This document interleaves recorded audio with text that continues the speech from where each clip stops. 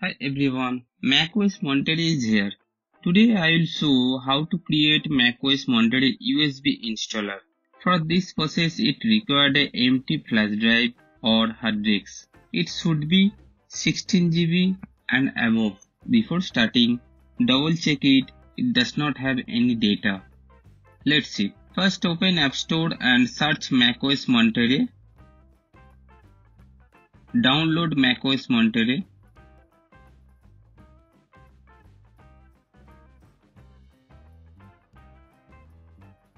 It takes little while and it also depends on your internet speed. When it completed you will see like this. In the application folder you will see install macOS Monterey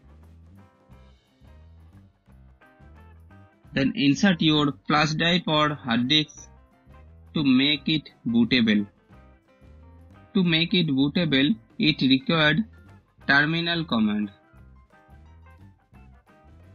So open terminal,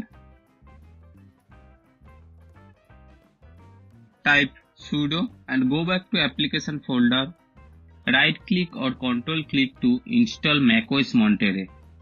So package content contains resources now this create install media executable file we need to run in terminal. So drag entire create install media file to terminal. Now type 2 dash volume. Drag your flash drive into terminal.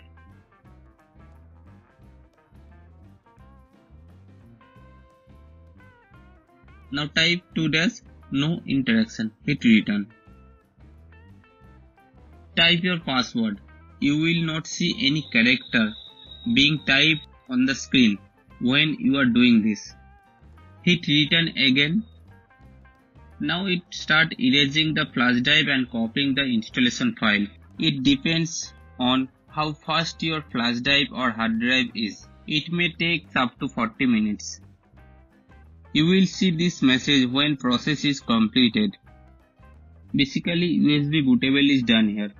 To change the looks for the bootable media, open it, right or control click in macOS Monterey file, then get info.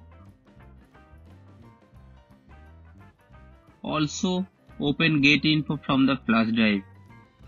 Now select this icon, press command and C, then select this icon from the flash drive get info then command and V. That's all. Hope it is help you. Please like and share my videos and also subscribe my channel to get more videos. Thanks for watching.